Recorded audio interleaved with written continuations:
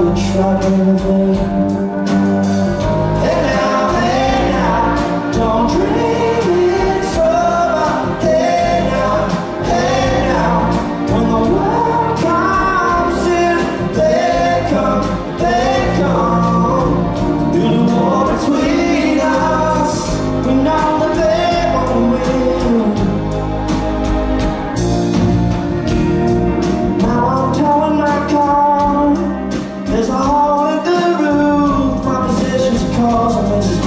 those